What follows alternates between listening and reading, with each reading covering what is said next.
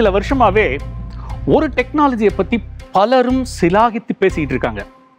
அதுதான் artificial intelligence இன்னைக்கு artificial intelligence ஒரு மந்திரம் மாதிரி ஆயிடுச்சு. அதாவது பொதுவாகவே இந்த உயிருள்ள ஜீவராசி அப்படின்னு எடுத்தாலே எல்லாத்துக்கும் மூளை இருக்கும். அதுக்கும் ஒரு புத்திசாலித்தனம் இருக்கும். இன்டெலிஜென்ஸ் இருக்கும். இப்போ எக்ஸாம்பிள் எடுத்தீங்கன்னா ஒரு குரங்கு அது கூட எழுத கற்றுக் கொடுத்தா நல்லா எழுதும். யானை படம் வரைகிறதையும் பார்த்துருக்கோம். அவ்வளோ ஏன்? ரோட்டில் நம்ம பார்த்துருப்போம். இந்த கிளி ஜோசியம் அதுக்கு ரெண்டு ரெண்டு நெல்லை கொடுத்தா அந்த கிளி வெளியில் கூண்டை விட்டு வெளியில் வந்துட்டு அந்த ஒரு சீட்டை எடுத்து கொடுத்துட்டு போவோம். அதுவும் ஒரு வகையான புத்திசாலித்தனம் தான். ஸோ இப்படி எல்லா ஜீவராசிகளுக்கும் மூளை புத்திசாலித்தனம் இன்டெலிஜென்ஸ் இதெல்லாம் இருக்கு இல்லையா? இப்போ இந்த இன்டெலிஜென்ஸை மனிதனால் உருவாக்கப்பட்ட செயற்கையான மிஷினுக்குள்ளார நம்ம அந்த இன்டெலிஜென்ஸை கொண்டு வர வைக்க முடியுமா? அதுதான் இந்த ஆர்டிஃபிஷியல் இன்டெலிஜென்ஸ் இப்போ உதாரணம் சொல்லணும்னா இப்போ இந்த சிரி அலெக்சா கூகுள் இந்த மிஷின்லாம் பார்த்துருப்போம். ஹே சிரி இன்னைக்கு மழை பெய்யுமா? It's currently cloudy and 78 degrees in Katy. Temperatures are heading down from 78 degrees this afternoon to 71 tonight. அது வெதரை பார்த்துட்டு ப்ரிடிக்ட் பண்ணிட்டு அது சொல்லும் இன்னைக்கு மழை பெய்யுமா பெய்யாதா அப்படின்ட்டு. அதை வச்சுட்டு நம்ம வெளியில் போகலாமா வேணாமான்னு டிசைட் பண்ணலாம். ஸோ இதுதான் இந்த ஆர்டிஃபிஷியல் இன்டெலிஜென்ஸ் இதோடைய தாக்கம் எல்லா இண்டஸ்ட்ரி செக்டர்லையும் இருக்குது அது என்டர்டெயின்மெண்ட்டாக இருக்கட்டும் இல்லை கிளைமேட் சேஞ்ச் இம்பேக்டை எப்படி நம்ம மினிமைஸ் பண்ணுறதுன்னு ஆராய்ச்சி பண்ணுறதா இருக்கட்டும் இல்லை புற்றுநோய்க்கு மருந்து கண்டுபிடிக்கிற செக்டாராக இருக்கட்டும் இல்லை ஃபினான்ஷியல் செக்டாரில் ஃப்ராட் டிடெக்ஷனை கண்டுபிடிக்கிறதா இருக்கட்டும். அடுத்த பத்து வருஷத்தில் ஒரு பதினைந்து புள்ளி ஏழு ட்ரில்லியன் டாலர் இது எவ்வளோன்னு கணக்கே போட முடியாது. கோடி கோடியே கோடி. அவ்வளோ பணத்தை எக்கானமியை இது உருவாக்கும் அப்படின்னு ஃபினான்ஷியல் அனலிஸ்ட் எல்லாம் இன்னைக்கு சொல்லிக்கிட்டு இருக்காங்க.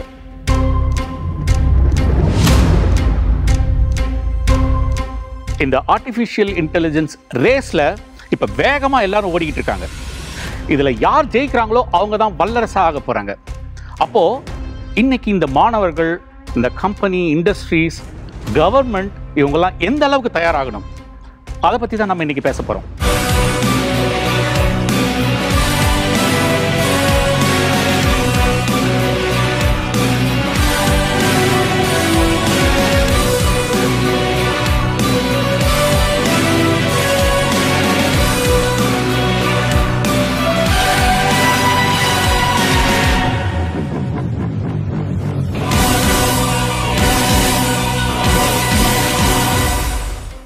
இந்த உலக நாடுகளுக்குள்ள எப்பயுமே யார் பெரியவன்ற போட்டி இருந்துக்கிட்டே இருக்கும். இந்த இரண்டாம் உலகப்போர் இந்த நைன்டீன் தேர்ட்டிஸ் ஃபார்ட்டிஸ் அந்த டைமில் எல்லாம் முடிஞ்சு எல்லாம் செட்டில் ஆகி அமைதியான உடனே அப்பயும் அவங்களுக்குள்ள கேள்வி இருந்துகிட்டே இருந்தது இந்த உலகத்தில் யார் பெரியவன்ட்டு. அப்போ தான் ரஷ்யா என்ன பண்ணால் ஆயிரத்தி தொள்ளாயிரத்தி ஐம்பத்தி ஏழில் இந்த அக்டோபர் மாதம் ஸ்புட்னிக் அப்படின்ற சேட்டலைட்டை விண்வெளித்துறைக்கு அனுப்புகிறான் உடனே உலக நாடுகள் எல்லாம் டென்ஷன் ஆயிட்டாங்க. அப்போது ரஷ்யா தான் இந்த உலகத்தில் இருக்கிற நாட்டிலேயே மிகப்பெரிய number one country so brand குத்தியாச்சு. Sputnik சேட்டலைட்டை கொண்டு போய் லான்ச் பண்ணிட்டாங்க. ஆயிரத்தி தொள்ளாயிரத்தி ஐம்பத்தி ஏழில். இதில் ரொம்ப டென்ஷன் ஆனது அமெரிக்கா. இப்போது இவங்களும் ப்ரூவ் பண்ணி ஆகணும். இந்த உலகத்தில் நாங்கள் தான் நம்பர் ஒன் அப்படின்னு இவங்க ப்ரூவ் பண்ண வேண்டிய கட்டாயத்துக்கு தள்ளப்பட்டுட்டாங்க. உடனே ஒரு பன்னெண்டு மாதத்தில் நாசாவை உருவாக்குறாங்க.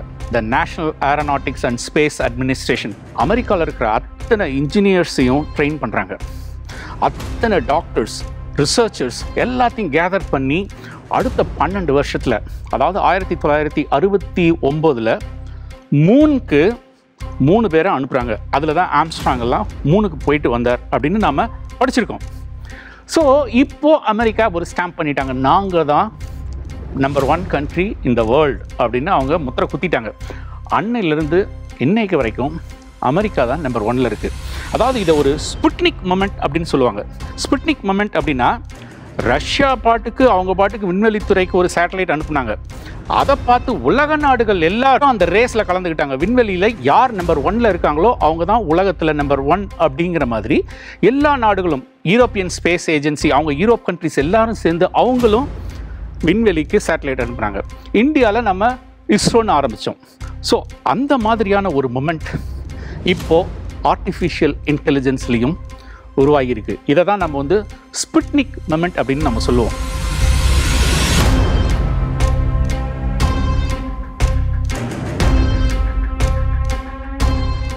இதை பார்க்கறதுக்கு முன்னே ஒரு சின்ன ஹிஸ்ட்ரி ஒன்று டச் பண்ணிட்டு வந்துருவோம்.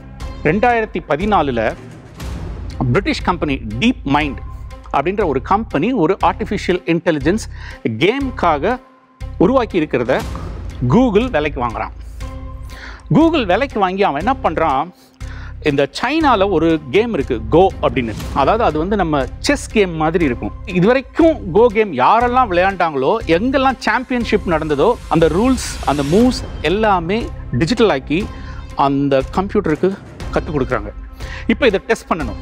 ரெண்டாயிரத்தி பதினாறில் world champion Korean player Lee Sedol அவனை கூப்பிட்டு கூகுள் அவங்களுடைய ஆல்ஃபா கோ அந்த ஆர்டிஃபிஷியல் இன்டெலிஜென்ஸ் மெஷின் பேர். அந்த ஆல்ஃபா கோவோட விளையாட விட்டு மோத விடுறாங்க. அஞ்சு கேம் விளையாடுறாங்க. அதில் நாலு கேம் ஆர்டிஃபிஷியல் இன்டெலிஜென்ஸ் ஜெயிக்குது. அதுதான் ஸ்புட்னிக் மூமெண்ட்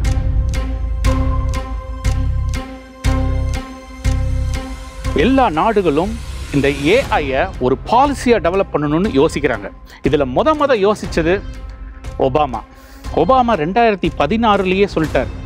இந்த ஏஐ உலகத்தில் மிகப்பெரிய தாக்கத்தை ஏற்படுத்த போது டிரைவர்லெஸ் கார் வியாதிக்கு மருந்து இப்படி பல துறைகளிலும் இந்த ஏஐ ரோல் ப்ளே பண்ண போகுது அப்படின்னு அவர் அப்பயே ரெண்டாயிரத்தி பதினாறில் சொல்கிறார் ஸோ அதனால் அமெரிக்கா ஒரு நேஷ்னல் பாலிசியை கொண்டு வரணும் அப்படின்னு டிசம்பர் மாதம் வயர்டுங்கிற மேக்சினில் அவர் இன்டர்வியூ கொடுக்குறாரு. ரெண்டாயிரத்தி பதினேழில் ஒபாமா ஆட்சி முடிஞ்சு ட்ரம்ப் உள்ளே வர்றார். இப்போ பொதுவாகவே ஒரு ஆட்சி முடிஞ்சிட்டு இன்னொரு ஆட்சி உள்ளே வர்றவங்களுக்கு ஒரு ஈகோ இருக்கும். அதாவது இதுக்கு முன்ன இருந்த ஆட்சியாளர்கள் என்ன பாலிசி எல்லாம் போட்டாங்களோ அதை முடிஞ்ச அளவுக்கு கட் பண்ணுறதுக்கு ட்ரை பண்ணுவாங்க. அதனால் ட்ரம்ப் என்ன பண்ணார்? ஆர்டிஃபிஷியல் இன்டெலிஜென்ஸை பற்றி ஒபாமா பேசுகிறாரு அமெரிக்காவுக்கு ஒரு பாலிசி வேணும்னு சொல்லியிருக்காரு. அப்படின்னா நான் இதுக்கு பாலிசி இப்போதைக்கு கொண்டு வர மாட்டேன் அப்படின்னு அவர் ஸ்டாண்ட் எடுக்கிறார். ஆனால் சைனா முழிச்சிட்டாங்க.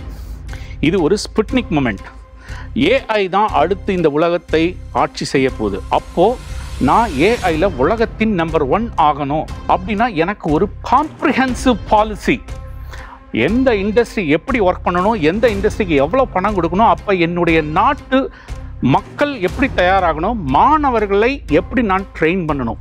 இத்தனையும் கொண்டு வந்து ஒரு பாலிசி டாக்குமெண்ட்டை ரெண்டாயிரத்தி பதினேழில் சைனீஸ் கவர்மெண்ட் கொண்டு வராங்க. இப்போ தான் ட்ரம்ப்புக்கு டென்ஷன் ஆகிறார். பயந்துட்டார் ஆக்சுவலி அவசர அவசரமாக உடனே அமெரிக்கா ஒரு ஏஐக்கான பாலிசியை கொண்டு வராங்க. ஆனால் இதில் ஒரு முக்கியமாக ஒன்று கவனிக்கணும். இந்த உலகத்தில் ஏஐக்கு பாலிசியை முதல் முதலில் கொண்டு வந்த நாடு கனடா. அதுக்கப்புறமா ஜப்பான். அதுக்கப்புறம் தான் சைனா கொண்டு வந்தாங்க. ஆனால் ஜப்பான் கனடா இவங்கெல்லாம் ஒரு மிகப்பெரிய காம்ப்ரிஹென்சிவான பாலிசியாக கொண்டு வரல. ஒரு இனிஷியேட்டிவ் கொண்டு வரணும் அப்படின்னு தான் அவங்க கொண்டு வந்தாங்க. சைனா கொண்டு வந்தது தான் அந்த ஸ்புட்னிக் மூமெண்ட் சைனா கொண்டு வந்த பின்னால் யூரோப்பில் இருக்கிற இட்டாலி ஜெர்மனி ஃப்ரான்ஸ் எல்லாரும் பாலிசி கொண்டு வராங்க. ஆஸ்திரேலியாலையும் பாலிசியை கொண்டு வர்றதுக்கு டிராஃப்ட் பண்ணுறதுக்கு நேரம் ஆகுது. ஆனால் அது வரைக்கும் வெயிட் பண்ண முடியாதுன்னு முதல்ல ஒரு முப்பது மில்லியன் டாலரை கொண்டு போய் ஆர்டிஃபிஷியல் இன்டெலிஜென்ஸில் இன்வெஸ்ட் பண்ணுறாங்க கவர்மெண்ட் இந்தியா ரெண்டாயிரத்தி பதினெட்டில் நாமளும் ஏஐ பாலிசியை கொண்டு வரதுக்கு டிராஃப்ட் பண்ணுறோம் இன்னைக்கு அமெரிக்க ஜனாதிபதியாக இருக்கிறது ஜோ பைடன்னு நம்ம எல்லாத்துக்கும் தெரியும். இப்போ இந்த ஜோ பைடன் ஒபாமா பிரசிடெண்ட்டாக இருக்கும்போது அவருக்கு வைஸ் பிரசிடெண்ட்டாகவும் இருந்தார்னும் நமக்கு தெரியும். அவர் ரெண்டாயிரத்தி பதினஞ்சில் ஜோ பைடன் ஒபாமா கிட்ட வைஸ் பிரசிடெண்ட்டாக இருக்கும்போது இவருடைய மூணு சன்ல ஒரு மகன் இறக்குறார். எதனாலன்னா புற்றுநோயினால். அப்போது ஜோ பைடன் எல்லா ஆராய்ச்சியாளர்களையும் கூப்பிட்டு கேட்குறாரு உலகத்தில் இருக்கிற சிறந்த விஞ்ஞானிகள் சிறந்த டாக்டர்கள் எல்லாருமே அமெரிக்காவில் இருக்காங்கன்னு தான் சொல்லுவோம். அதுவும் கடந்த முப்பது வருஷமாக அமெரிக்கா பல ஆயிரம் கோடிகளை கேன்சர் வியாதிக்கு மருந்து கண்டுபிடிக்கிறதுக்கு மட்டுமே இன்வெஸ்ட் பண்ணியிருக்கு. என்ன காரணம் அப்படின்னு கேட்குறாரு அப்போ தான் உண்மையை முதல் தடவையாக இந்த ஆராய்ச்சியாளர்கள்லாம் ஒப்புக்க ஆரம்பிக்கிறாங்க. அதாவது இது ஒரு மெடிக்கல் ப்ராப்ளமும் இல்லை பயாலஜி ப்ராப்ளமும் இல்லை. கேன்சரை பற்றி அவ்வளோ டேட்டா குமிஞ்சு கிடக்கு. எங்களால் அந்த டேட்டாவை ஹேண்டில் பண்ண முடியல அப்படிங்கிறாங்க. அப்போ தான் ஜோ பைடன் ரியலைஸ் பண்ணுறார் அப்போ இனிமே கேன்சர் வியாதிக்கு மருந்து கண்டுபிடிக்க வேண்டியது ஒரு மருத்துவரோ அல்லது பயோடெக்னாலஜி சயின்டிஸ்டோ கிடையாது.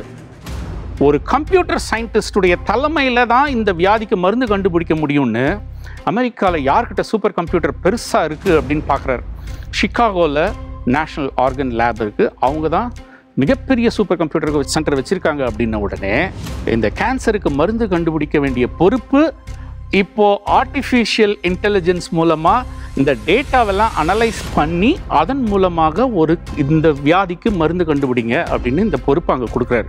ஸோ இந்த அளவுக்கு இந்த ஏஐ ஒரு மிகப்பெரிய தாக்கத்தை ஏற்படுத்திக்கிட்டு இருக்கு இல்லையா?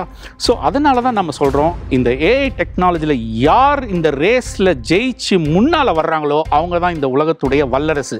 அதனால தான் சைனா இப்போ மிக வேகமாக முன்னால் ஓடிக்கிட்டு இருக்கு.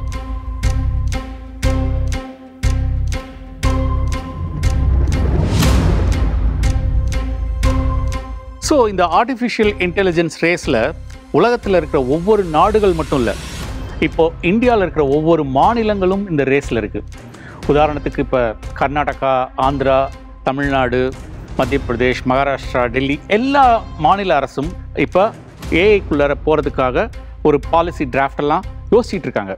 இப்போ நம்ம தமிழ்நாட்டில் என்ன பண்ணலாம் அப்படின்னு யோசித்தா ஒரு மூணு விதமாக தமிழக அரசு இந்த ஏஐ பற்றி யோசிக்கலாம். ஒன்று கவர்மெண்ட்டில் அதாவது ஒரு ஏஐ எனேபிள்டு கவர்மெண்ட்டாக இது மாறலாம். அது மட்டும் இல்லாமல் இந்தியாவில் தமிழ்நாட்டுக்குன்னு ஒரு தனி கேரக்டர் இருக்குது அதாவது நமக்கு வந்து லாங்குவேஜ் மேலே ரொம்ப பேஷன் அதிகம். இப்போ தமிழக அரசு என்ன பண்ணலான்னா இந்த ஏஐயை யூஸ் பண்ணி இப்போது நான் தமிழில் பேசினா அங்கே மற்றவங்களுக்கு கேட்குறவங்களுக்கு ஹிந்தியில் கேட்கணும் மற்றவங்க ஹிந்தியில் பேசினா எனக்கு தமிழில் கேட்கணுங்கிற மாதிரியான ஒரு ஏஐ பிளாட்ஃபார்ம் செய்யக்கூடிய ஒரு சென்டர் ஃபார் எக்ஸலன்ஸை நம்ம இங்கே உருவாக்கலாம். வாழ்க்கையில் என்றைக்கோ ஒரு நாள் நான் ஒரிசா போகிறதுக்காக நான் ஒரிசா லாங்குவேஜும் கற்றுக்க முடியாது. வாழ்க்கையில் என்றைக்கோ ஒரு நாள் நான் பஞ்சாப்க்கு போகிறதுக்காக நான் பஞ்சாப் லாங்குவேஜும் கற்றுக்க முடியாது. யாரோ ஒரு நாலு பேர் பஞ்சாப் போகிறதுக்காக தமிழ்நாட்டில் இருக்கிறவங்க அத்தனை பேரும் பஞ்சாப் லாங்குவேஜ் பஞ்சாபி லாங்குவேஜை கற்றுக்கோங்கன்னு நான் சொல்ல முடியாது. அப்போது இந்த ஏஐ மெஷின் நம்ம கையில் இருந்ததுன்னா இந்தியாவில் மட்டும் இல்லை உலகத்தில் எந்த இடத்துக்கும் நம்மளால் போயிட்டு வர முடியும். ரெண்டாவது இந்த ஏஐக்கான ஒரு எக்கோசிஸ்டத்தை நம்ம இங்கே உருவாக்கணும். இப்போ ஆயிரத்தி தொள்ளாயிரத்தி தொண்ணூறுங்களுக்கு முன்னாலெல்லாம் பார்த்தோம்னா பள்ளிக்கூடத்தில் நம்ம படிக்கும்போது இந்தியாவில் நான்கு முக்கிய விமான நிலையம்னு படித்தோம்னா அது டெல்லி மும்பை கல்கட்டா சென்னைன்னு இருக்கும். இன்றைக்கி இந்தியாவுடைய முக்கியமான விமான நிலையத்தில் நம்ம ஆறாவது இடத்துல இருப்போம் இல்லைன்னா ஏழாவது இடத்துல இருப்போம். ஸோ இப்போ பெங்களூர் ஹைதராபாத் இந்த மீன் டைமில் கடந்த இருபது முப்பது வருடங்களில் மிகப்பெரிய அளவில் வளர்ச்சியை கண்டிருக்கு. அதுக்கு முக்கிய காரணம் மிகப்பெரிய கம்பெனிகள்லாம் கிடையாது. சின்ன சின்ன ஸ்டார்ட் அப் கம்பெனிஸ் இந்த கடந்த ரெண்டு மூணு வருஷம் மட்டுமே எடுத்தாலே ஏஐயில் மட்டுமே ஒரு நானூறு ஸ்டார்ட் அப் கம்பெனி பெங்களூரில் வந்திருக்கும். ஹைதராபாத்தில் பல ஸ்டார்ட் அப் கம்பெனிஸ் இப்போ ஸ்டார்ட் பண்ணியிருக்காங்க தமிழகத்தில் விரல் விட்டு எண்ணக்கூடிய கம்பெனிகள் தான் ஏஐயில் இன்னமும் இருந்துகிட்டு இருக்கு. ஸோ இதுக்கு தமிழக அரசு ஒரு ஸ்டெப் எடுக்கணும். இப்போ உதாரணத்துக்கு சொல்லணும்னா உலக அரங்கு எக்ஸிபிட் இதெல்லாம் நடக்கும்போது கர்நாடக அரசு அவங்களுடைய கவர்மெண்ட் சார்பாக ஒரு எக்ஸிபிட் ஹால் போடுறாங்க. ஆந்திர அரசு ஆந்திர அரசு சார்பாக ஒரு எக்ஸிபிட் ஹால் போடுறாங்க. கடந்த சில வருடமாக கேரளா கூட அவங்க அந்த அரசு சார்பாக இந்த உலக நாடுகள் மத்தியில் ஒரு எக்ஸிபிட் போடுறாங்க. அங்கே இந்தியாவும் இந்திய அரசு மத்திய அரசு அங்கே தனியாக ஒரு ஸ்டால் போடுவாங்க. தமிழ்நாட்டிலேருந்து அப்படி ஒரு ரெப்ரசன்டேஷனையே நான் பார்க்கல கடந்த சில வருடங்களாக மூணாவது இந்த எஜுகேஷன் எஜுகேஷன் ஏன்னா இந்த அளவுக்கு ஏன் இருக்குது அப்படின்னா இன்றைக்கி கூட இந்த வாரம் பீஜிங்கில் சைனாவில் ஒரு ஏஐ ரிலேட்டட் கான்ஃபரன்ஸ் நடக்க போகிறது அதில் ரிஜிஸ்ட்ரேஷன் மட்டுமே எழுபதாயிரம் மாணவர்கள். எழுபதாயிரம் ஆராய்ச்சி மாணவர்கள். அப்படின்னா எத்தனை லட்சம் மாணவர்கள் அங்கே ஏஐயில் படிப்பாங்க. அப்போது அவங்களுக்கு உலக தரத்தில் அவ்வளவு பேர் சொல்லி கொடுக்கறதுக்கு ஆல்ரெடி தயாராகிட்டாங்க இப்போ தமிழ்நாட்டில் வருஷம் வருஷம் லட்சக்கணக்கான மாணவர்கள் கல்லூரியை விட்டு வெளியில் வராங்க.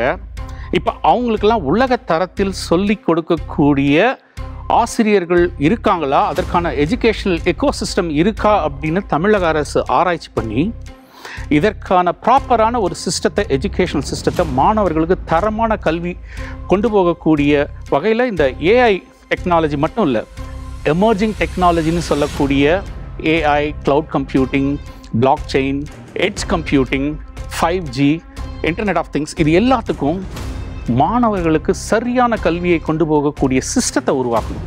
ஸோ அப்போ இந்த ஏஐஏ வந்துச்சு அப்படின்னாலே மூணு விதமாக தமிழக அரசு யோசிக்கலாம். ஒன்று கவர்னன்ஸ் இ கவர்னன்ஸ்லேருந்து ஏஐ கவர்னன்ஸ் அங்கே Tamil language enabled other languages ரெண்டாவது ஒரு ஸ்டார்ட் அப் கம்பெனிக்கான எக்கோசிஸ்டம் மூணாவது ப்ராப்பரான எஜுகேஷன் கொண்டு வர்றதுக்கு மாணவர்களுக்கான ஒரு சிஸ்டத்தை உள்ள பில்ட் பண்ண வேண்டியிருக்கும்.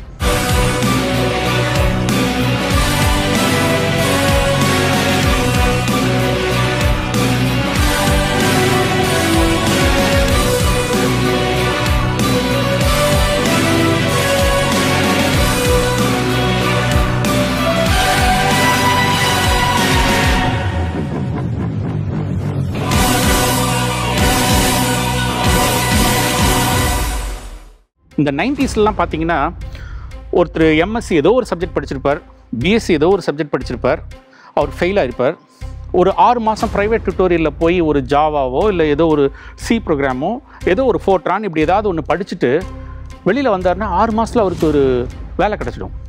அது குறைஞ்ச சம்பளமோ அதிக சம்பளமோ ஏதோ ஒரு வேலை கிடச்சிடும். அந்த அளவுக்கு இப்போ ஹைப் இருக்குன்னா அந்த அளவுக்கு ஆப்பர்ச்சுனிட்டி இருக்கா அப்படின்னு மாணவர்கள் கொஞ்சம் கொஷின் கேட்டுக்கணும். அதில் தான் பிக்கஸ்ட் சேலஞ்ச் ஏன்னா இப்போ இருக்கிற உலகம் வேற. நாம் வந்து இன்டர்நேஷ்னலாக இப்போது சைனா மாணவர்களோட நம்ம போட்டி போடணும். அப்போ நைன்டிஸில் வந்து சைனா அந்த அளவுக்கு சாஃப்ட்வேர் இண்டஸ்ட்ரியில் டெக்னாலஜியில் அந்தளவுக்கு டெவலப் ஆகல. அப்போ உலகத்துக்கே சாஃப்ட்வேரில் சர்வீஸ் பண்ணினது இந்திய மாணவர்கள் தான். இப்போ சைனா நம்மளை விட நாலு ஸ்டெப் முன்னால் இருக்கான். இப்போ நாம் அவனோட போட்டி போடணும். அது மட்டும் இல்லை இப்போ நிறைய பேர் நாற்பது வயசை தாண்டின சாஃப்ட்வேர் இன்ஜினியர்ஸ் அவங்கெல்லாம் அவங்களுடைய வேலையை தக்க வைத்துக்கொள்ளணும்னா அவங்க கம்பெனியே அவங்களுடைய எம்ப்ளாயீஸ் எல்லாத்தையும் ஆர்டிஃபிஷியல் இன்டெலிஜென்ஸ் படிங்க படிச்சுட்டு ஹெச்ஆர் கிட்ட நீங்கள் படிச்சுட்டேன்னு வந்து சர்டிஃபிகேட் கொடுங்க அப்படின்னு சொல்கிறாங்க ஸோ இன்றைக்கி கல்லூரியில் ஏஐ படிக்கின்ற மாணவர்கள் படித்து வெளியில் வரும்போது இவங்களுடைய காம்படிஷன் சைனாவில் இருக்குது இந்தியாவிலேயே இன்றைக்கி சாஃப்ட்வேர் இன்ஜினியர்ஸ் நாற்பது வயசு கடந்தவர்களும் இருக்காங்க. இதை தாண்டி நீங்கள் படிச்சுட்டு உள்ளே வரணுன்னா மூணு விஷயத்தில் நீங்கள் ரொம்ப ஸ்மார்ட்டாக இருக்கணும். ஒன்று கோடிங்கில் எக்ஸ்ட்ராடினரியாக இருக்கணும். அதாவது இன்றைக்கி கோடிங் எல்லாரும் பேசிகிட்டு இருக்கிறது பைத்தான் ஸோ பைத்தானில் எவ்வளோ மேக்ஸிமம் அவங்க தயாராகணுமோ தயாராகணும். ரெண்டாவது மேத்தமெட்டிக்ஸ் ஸ்கில்ஸ் வந்து நல்லா ஷார்பன் பண்ணணும். அதாவது இப்போ ஏன்னு நம்ம பேசினோம்னாலே நம்ம ஒரு டெசிஷன் எடுக்கிறோம்னு நம்ம பேசினோம். ப்ளஸ் ஸ்டாட்டிஸ்டிக்ஸ் அதுக்கப்புறம் அந்த சேஞ்ச் எவ்வளோ வேகத்தில் நடக்கிறது? அப்போ கால்குலஸ் படிக்கணும். அப்புறம் லீனியர் அல்ஜிப்ரா படிக்கணும். இதிலெல்லாம் இவங்க ரொம்ப ஸ்ட்ராங்காக இருக்கணும். அதை தாண்டி மூணாவது விஷயம் ஏதாவது ஒரு டொமைனாக இவங்க சூஸ் பண்ணிக்கணும். அது மெடிக்கல் ஃபீல்டாக இருக்கலாம் இல்லை லிட்ரேச்சராக இருக்கலாம் இல்லை நேச்சுரல் லாங்குவேஜ் ப்ராசஸிங் இருக்கலாம் இல்லை என்டர்டெயின்மெண்ட் மீடியா இப்படி ஏதாவது ஒரு டொமைனையும் mathematics skills along with programming இந்த மூணும் அவங்க ரொம்ப ஷார்ப்பன் பண்ணிக்கணும். அப்போது இதுக்கு நான் எங்கேயாவது வெளியில் எங்கேயாவது காசு கொடுத்து படிக்கணுமா ப்ரைவேட்டாக அப்படின்னா எங்கேயுமே நீங்கள் போகாதீங்க. சில இடத்துல வந்து ஒன்னே முக்கால் லட்சம் கேட்டு எனக்கே ஃபோன் வந்தது. சார் உங்களுக்கு நாங்கள் பைத்தான் கோடிங் சொல்லித்தரோம் நாங்கள் நுங்கம்பாக்கத்துலேருந்து கால் பண்ணுறோம் அப்படின்னாங்க. எங்கேயும் போகாதீங்க. இன்றைக்கி உலகத்தில் மிகச்சிறந்த கல்வி இலவசமாக உங்களுக்கு ஆன்லைன்லேயே கிடைக்கும். இன்டர்நெட்டில் கிடைக்கும். ஸோ அதை தேடி நீங்கள் போங்க. Stanford university Harvard university MIT Carnegie Mellon university university of California Berkeley இவங்க எல்லாரும் அங்கே உலகத்தின் தலை சிறந்த ஆசிரியர்கள் நடத்தும் பாடம் எல்லாமே இலவசமாக கிளிக் ஆஃப் பட்டனில் உங்கள் வீடு தேடி வரும்போது நீங்கள் வேறு எங்கேயும் போய் காசு செலவு பண்ணாதீங்க. உங்கள் கல்லூரியில் படிங்க வீட்டுக்கு வந்தால் ஆன்லைனில் இந்த வகுப்புகள் எல்லாமே உங்களுக்கு இலவசமாக கிடைக்கும்போது உங்கள் நாலேஜை அந்த இடத்துல நீங்கள் சேர்த்துக்கிட்டிங்கனாலே நாலு வருஷம் நீங்கள் கல்லூரியை முடித்து வெளில வரும்போது எம்ப்ளாய்மெண்ட்டுக்கு தகுதியாக நீங்கள் வெளில வருவீங்க. ஸோ இந்த ஏஐ அடுத்து இன்னும் இருபது வருஷத்துக்கு இதுதான் ரூல் பண்ண போது அதுக்கு தயாராகும்